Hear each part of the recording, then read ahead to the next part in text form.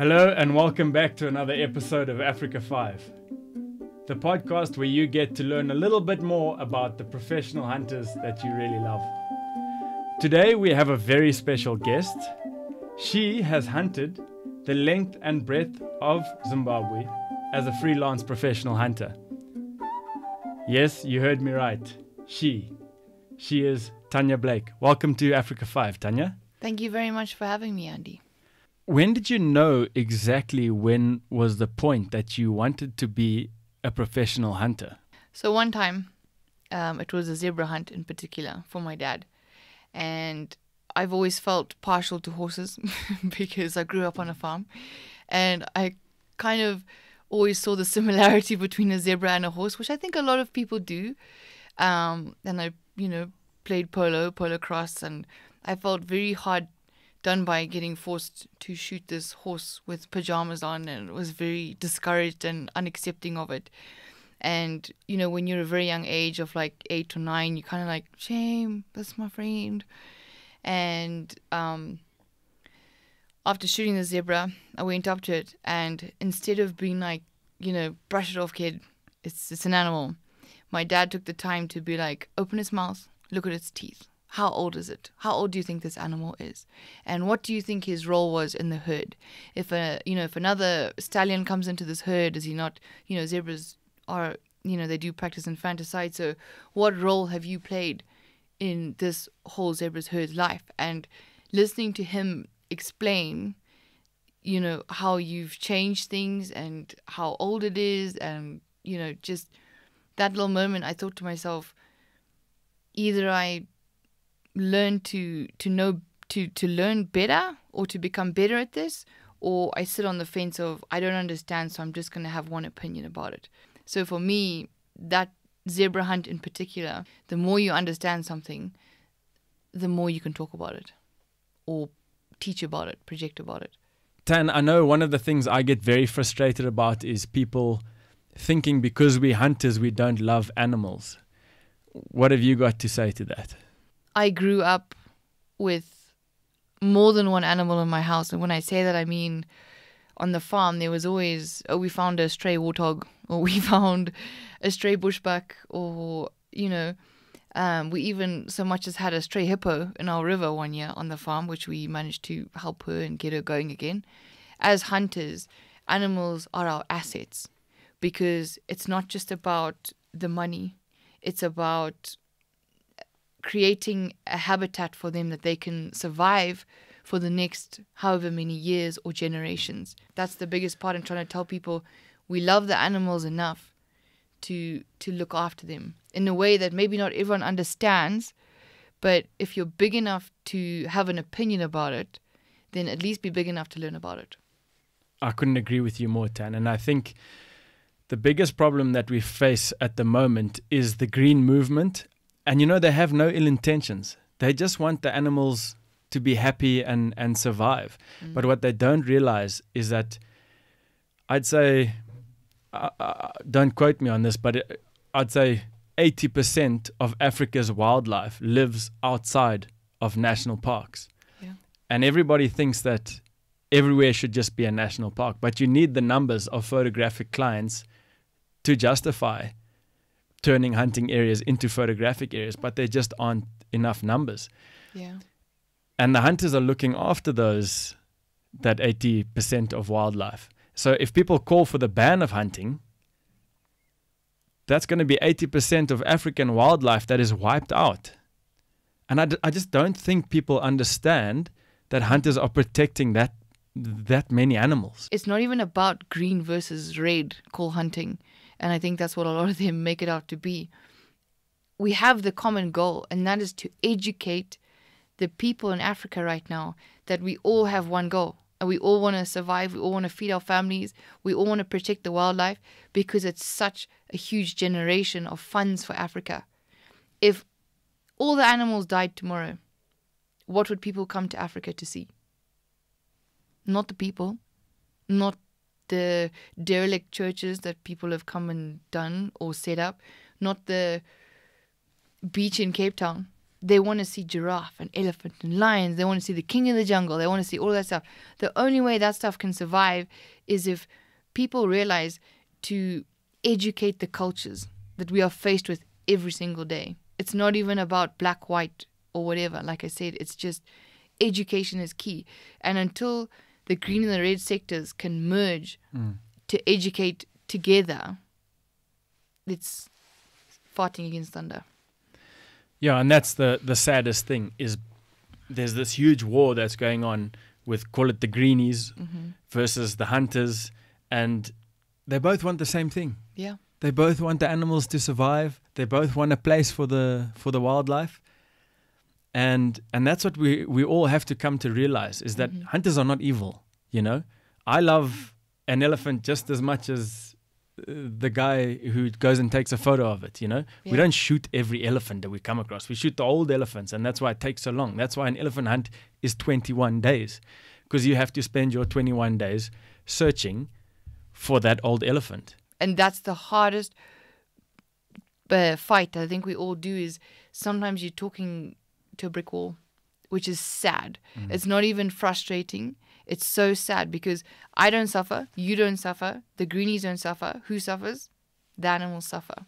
And that's the saddest part is you fighting and yelling and all that stuff and you're not even the person who's suffering.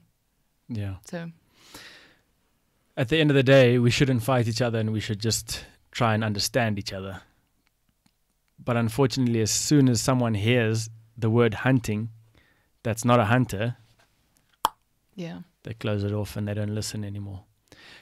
But then again, there are also hunters that do need to be called out that don't stick to rules and regulations. And I think as a hunting industry, that's where we do go wrong, is we don't call them out enough. Yeah. And going forward, I think we're going to have to do that. Tan, I don't know if you remember, but I think it was back in 2011. I went for my learner professional hunter's license, and I think that is where I met you. Do you remember that? I think I vaguely do. Was So- a written exam. Yes, Yes. it was the written exam. And basically, I got to my written exam, and I didn't really know anyone because, as apprentice hunters, we spend our whole time in the bush and we don't really have peers because we're so isolated. And I remember bumping into Tanya and saying, Hey, Tan, uh, you know, nice to meet you.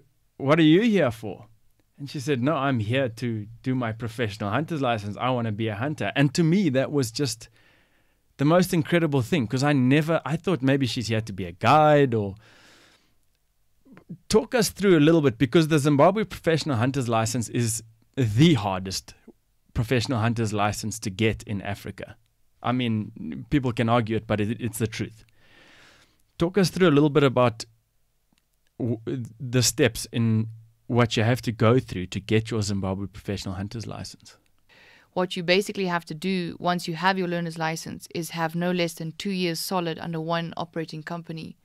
Um, and at the end of that, a PH within the um, within their company will sign off for you. So basically, putting their neck out on the line for you. And there was very little people that would respond to me. You know, I, I'm not going to drop names or anything, but I applied to several companies, and my dad even applied in my place and said, you know, my kid wants to do the hunting license, etc., etc., just to just to see. And it was like, yes, no, sure, sure, come. And then when it was brought forward that I was a that I was a woman, it was like, mm, okay, well, let me just check with my wife. Let me just check with this. Let me just check with that. I understand that you know the way the world works.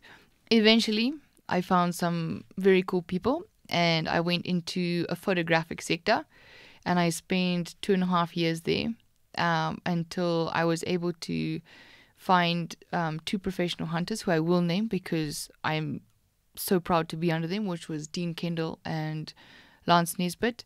And they put their necks on the line for me, and I went and did a lot of um, all of the hunts that they had. They would take me on as their apprentice, and um, Dean Kendall probably being the root of all of the hunter that I am today about ethics and age and you know was pretty much instilled for him sorry i'm diverting but um you know once once i got through the written exam you then have to go on to getting, as a professional hunter, no less than five dangerous game experience.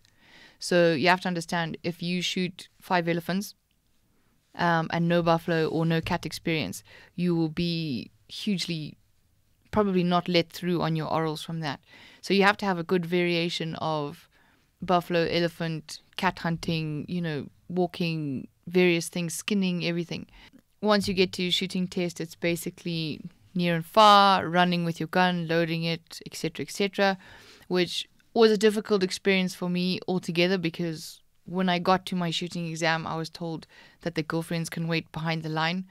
Um, and then when they realized that I was there to shoot, they were all like, oh, okay. And I ended up coming second, which was a huge moment for me because maybe they took me a little bit more seriously when I was told by several people not to go for my shooting test because I wasn't ready. Sec- sorry, second over. 40. There were 40 people shooting and you came second. Yeah. Oh, congratulations. Thank you. After your shooting test, um, as long as you have all of your required animals, you then get to your oral examination, which for me was the hardest of them all because you walk into a room of maybe call it 18 people and there'll be several PHs, maybe four, five, six, and the rest are national parks, Zimbabwean national parks representatives. And there's several trophies around the room, like how old is that buffalo? How what size elephant did those tusks come from? How old is that leopard? There'll be a book of skins, and there's literally maybe like this much skin. It'll be like, is it a reed buck? Is it an impala? Is it a this? Is it a squirrel? you just have to have skinned enough to know what you're doing. And I think it's more of a character thing. So for me, I was so nervous that I, I I'm like I was shaking like a leaf. Do you keep your composure or do you do you lose it? And I think that for me was the hardest part, but I managed to get through. And the next part after that was your practical, which is 10 days safari. And you take all of your examiners and you have to shoot a buffalo and you have to shoot an elephant. And they will make you track, they will make you skin. You have to put up a whole entire camp for them and feed them and give them drinks and treat them basically like a client. And they examine you every part of the way. Um, and that for me was muscle memory. And I had the best time on my practical. You make the best friends because you're put with complete randoms that you don't know, your examiner you don't know.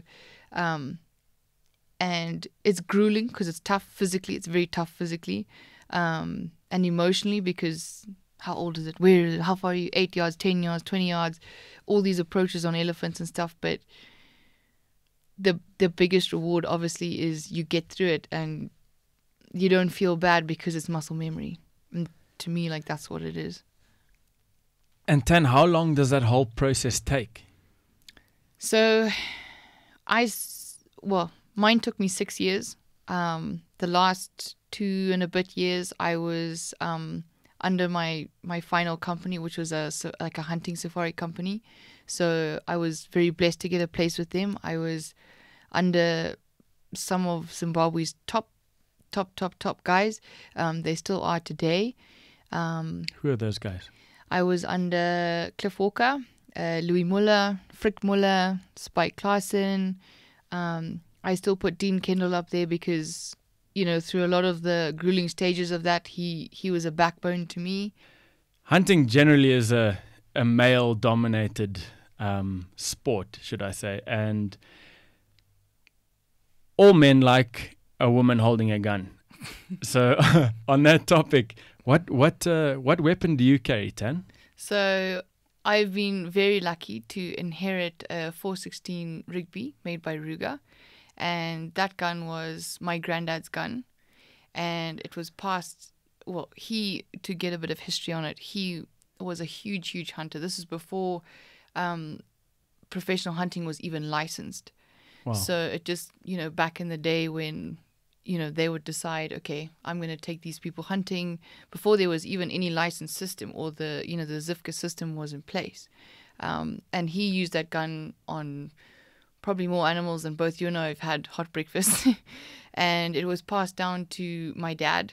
And the day after well when my results were read out on me qualifying um, that's when my dad came to me and said with the you know with the permit all being changed into my name and he said this is now yours so it's I can't imagine carrying anything else um, because it's it's not only you know it's a precious family heirloom, but it's a it's a well you know it functions well and it's well used. It's worn, so it's got so much character, and I know it you know like the back of my hand. So I'm very lucky.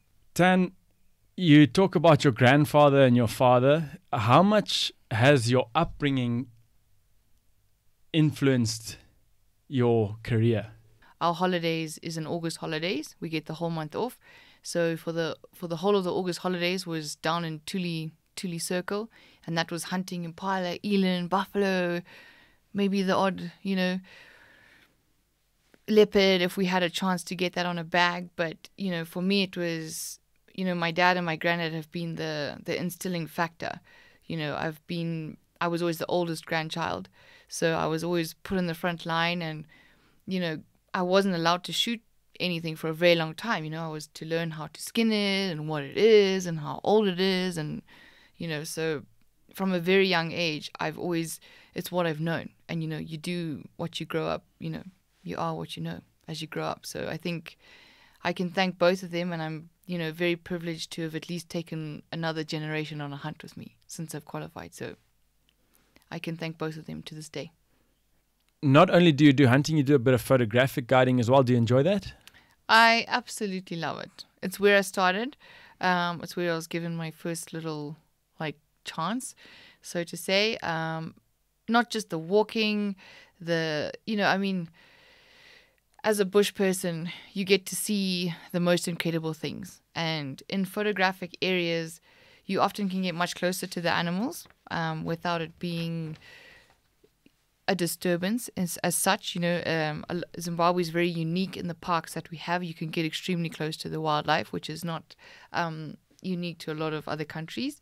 Um, and it's for me, it's instilling the wonder. You know, when you you know the air like you get close to animals or you just see them doing what they're doing um, and you get to see the the awe on people's faces and for me, when you're hunting or guiding, it's about instilling that, you know, the little fire that we all have inside of us, no matter how tough you are, or old or young, or whatever you are. When something amazing happens in front of you, you see that little like, and and that's the reward. I am huge into fishing. I am a I'm a I'm a daddy's girl in that department. I love me some fishing, whether it's in a puddle outside the backyard, hoping that something will bite. Or um, look, it's it's hard to say, but I think for me a huge downtime is just to take my take my little dog and go to the bush either with some close friends or it's crazy that I go to the bush to get away from it. Um, but that's what I do. I love to go on my own walking. I um, sounds weird, but I love to go just walking. Um, go to the bush, camp, a little fire, put my stretcher out, and just just be on your own a little bit. Um, but I do. I love all of my friends. I have the most afraid, amazing friends in my life, and they all support me and understand what I do. Um, some of them don't understand it, but they they understand me, and it makes me happy. So they're happy. So I'm very lucky. I basically fish, be in the bush, or spend time with my friends. That's what makes me happy. do you have a favorite animal to hunt? Definitely. For me, leopards. I'm just one of those weird cat ladies, I guess. Um, I absolutely love the challenge, the thrill. You know, you you can put a piece of meat out and anything might come from a hyena to a honey badger to a whatever. But to get the oldest oldest cat for me is the biggest reward. Between a leopard hunt and tuskless elephant. I love hunting tuskless elephant. It's obviously we all know it's a thrill, but it's um it's extremely hard work. Um, and for me, what I love, w- humans are pretty small creatures, and when you're faced down with a herd of elephant, you suddenly remember your place. Um, but it's you know, it's got to be a certain age. She can't be the matriarch. She can't be. I like anyone that's hunted with me, clients. Hey, they'll know that I'm like, nope, nope, nope, nope, nope, until I find the oldest, you know, least participating member of the herd.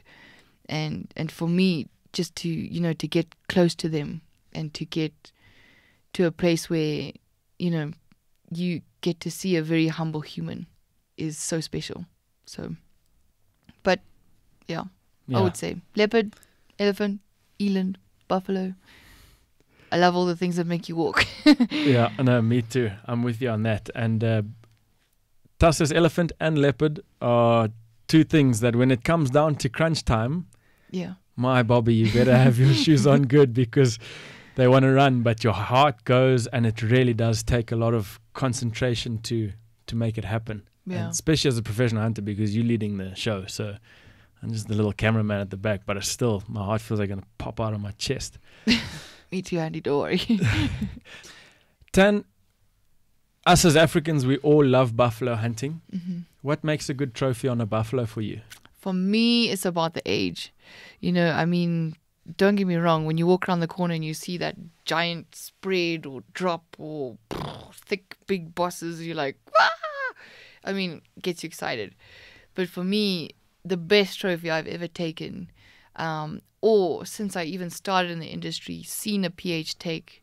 Sorry to all of them who never shot a scrum cap. I'm gonna brag a little bit, but when I took the scrum cap was the greatest reward of my life. The older the better because you are you are hunting, you know, the old guy that is he's figured out, you know, how to get this far and he's bred and he's lived and you know, I mean that you could see on his gums where the grass every time he ate was cutting, you know, his gums as he's pulling. Um, so for us, it was like we took this big old guy, uh, scrum cap old guy. Like wasn't even. It was my client was over the moon. I was, for me, it was amazing. So Wow. Tan, if anyone who's watching would like to follow you or find out about more about who you are and what you do, where can they find you?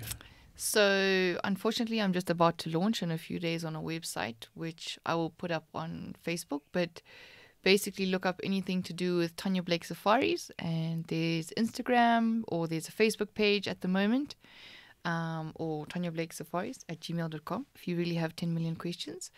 Um, but I am up there. And I'm happy to answer any questions and get to know people or take people hunting or photographic. Um, like I said, it's just all I want to do is share my perspective on what I do every day. Thanks so much, Dan. Thank you so much for joining us on Africa 5. You're a huge inspiration to a lot of people. Um, thank you so much for flying the Zimbabwe flag very high. You do great things and you're a great custodian of African wildlife. So thank you very much for talking to us on Africa 5. Folks, thanks for joining us. I hope you enjoyed our chat with Tanya. We'll be back next time for a little bit more on your favorite professional hunters. Subscribe. See you there.